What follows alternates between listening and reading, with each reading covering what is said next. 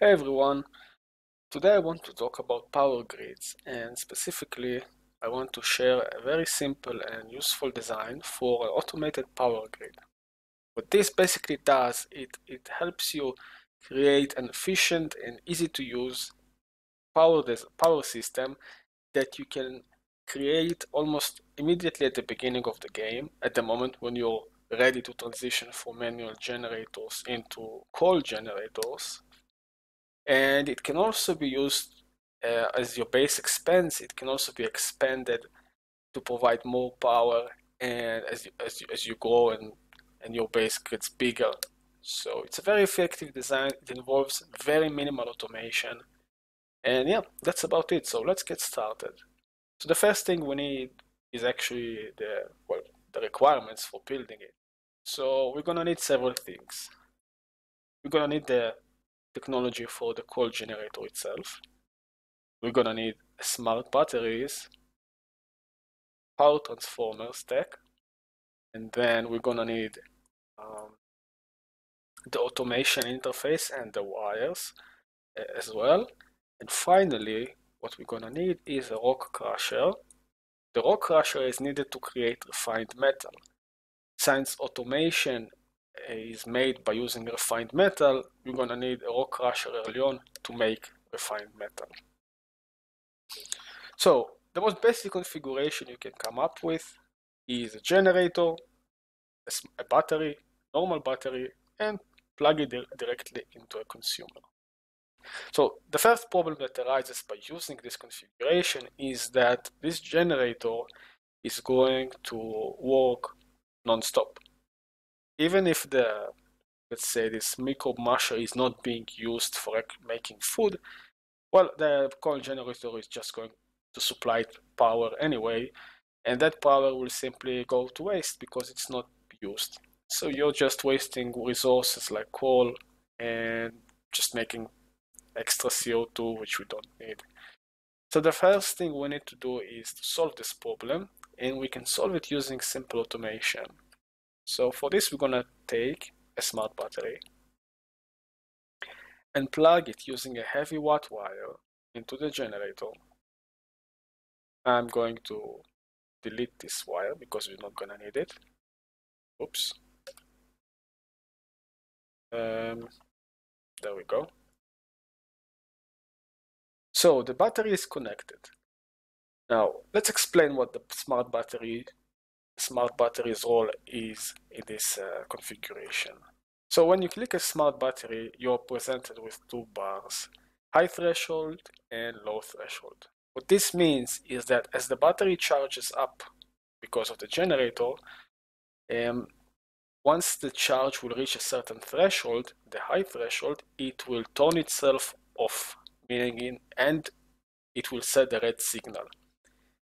The low threshold means that as the battery is getting discharged, as, as the battery is discharged, uh, once it passes a certain threshold, the low threshold, it will turn itself back on and send a, a green signal. What does this mean for a generator is that as as the generator charges our battery and the battery reaches a threshold of 100%, it will turn itself off and set a red signal when the uh, red signal, as you can see, disables the building, so it will disable the coal generator. Since it's full, it doesn't need extra power, so the generator doesn't need to work. As the battery, uh, if we, if we connect some consumers to the battery and they use the power, the charge will eventually get depleted. And once it gets to, let's say, 20% low threshold, it will turn back on the generator and the generator will resupply power to the battery. So all we need to do in terms of automation is connect this wire directly to the generator. So this is all nice and well. We have a generator control, but we still need to plug, well, we need to provide power to our, to our base, in this instance, a microbe musher.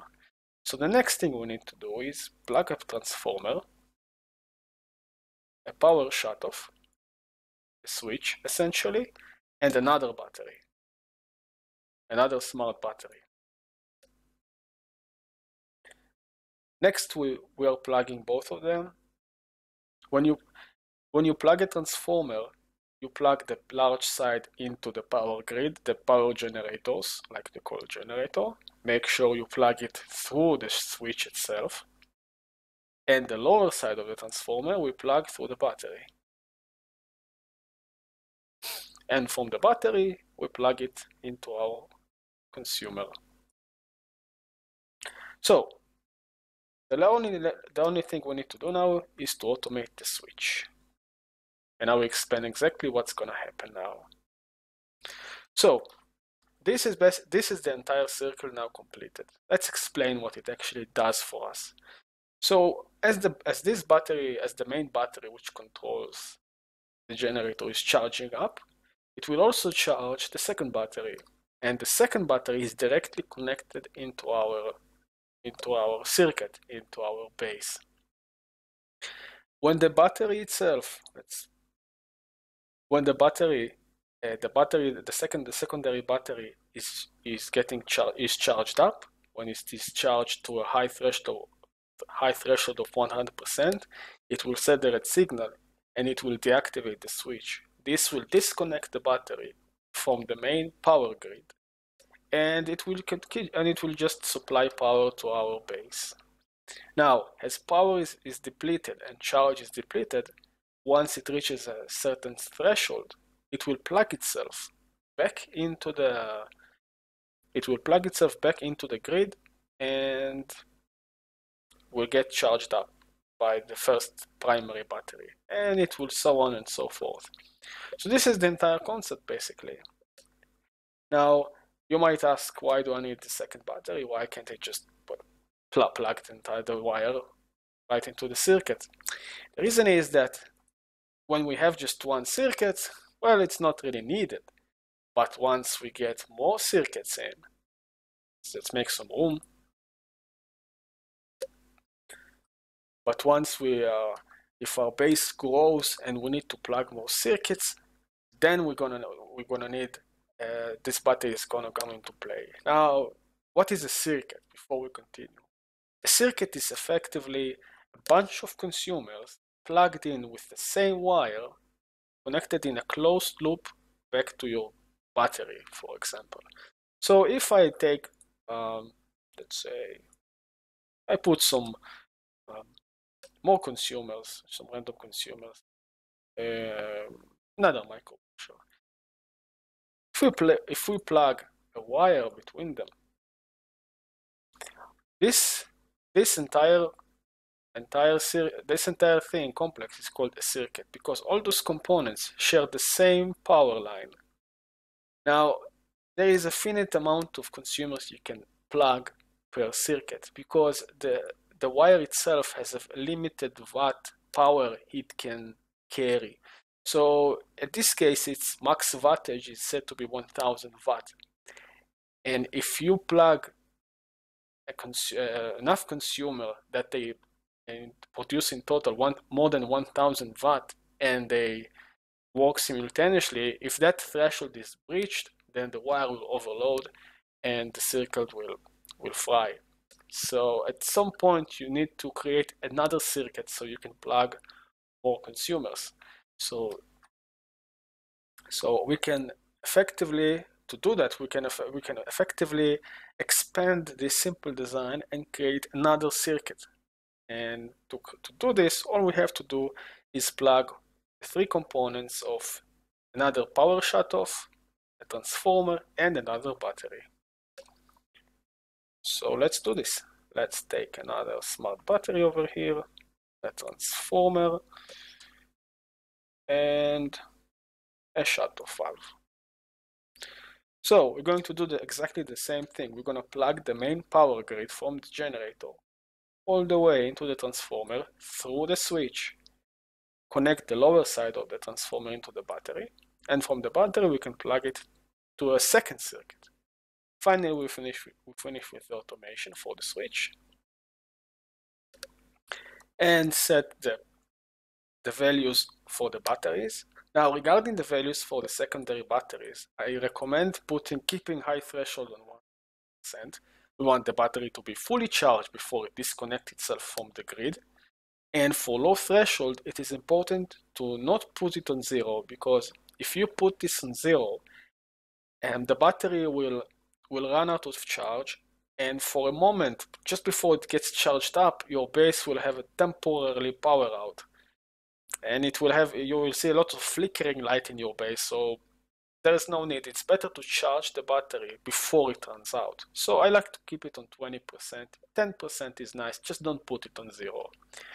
So what happens now is that we can create another circuit with uh, let's say uh, with with more with different components yeah put an aqua tuner and we can plug plug it just like this so what what the, what what's this is basically two different circuits this is circuit number one it is fed by one secondary battery and the second circuit is fed by a different battery by the second battery and is feeding completely different uh, consumers. They see they are not interconnected, so they don't share the same wire. And in this form, you can share power uh, without overloading your wires.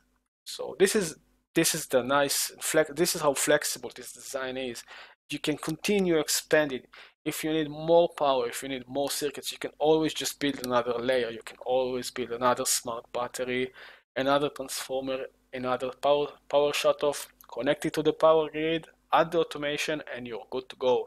You can do this infinite amount of time as long as you have enough power from your generators and room to build, of course. So if we want more power, if we want to add more generators, all we have to do is we can just plug another generator.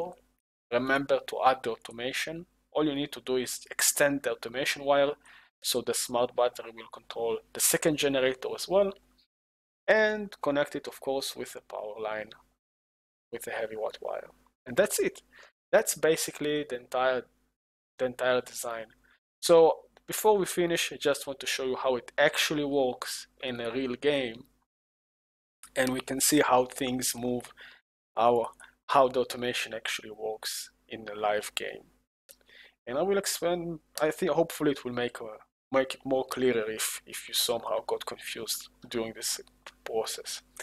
So here we have this exactly the same design. Since my base in this case is fairly new, I don't need a second circuit, so this is just one circuit and two generators.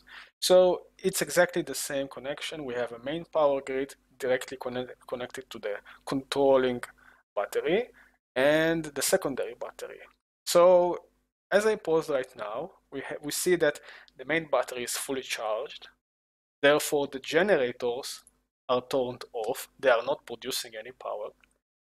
And we have the secondary power, the secondary battery also sufficiently charged, so it disconnected itself from the main grid. So basically, every, nothing here is working. Not, nothing here is working because the batteries are charged. So let's play and see what happens. See the secondary battery charge is being depleted because the base is consuming power. So once it gets to 20% of its total power value, let's see what's going to happen. It goes low and once 20% is around 4k capacity, once it got to that point, it triggered, it got activated, it enabled the power shutoff, connected itself to the power grid, and is now siphoning power from the main battery. And as the main battery is being depleted, eventually it will enable back the generators and the generators will supply it with power. And as you can see, the secondary battery is now fully online. It will disconnect itself from the system and the process kind of repeats itself. So pretty compact. I think it's pretty simple. And that, that that's it really. So I really hope this was this was helpful. If you have any questions, comments, or feedback, or anything you would like to know, something I missed, feel free to write it write it in the comments. And yeah, that's it. Thanks for watching, and I'll see you next time.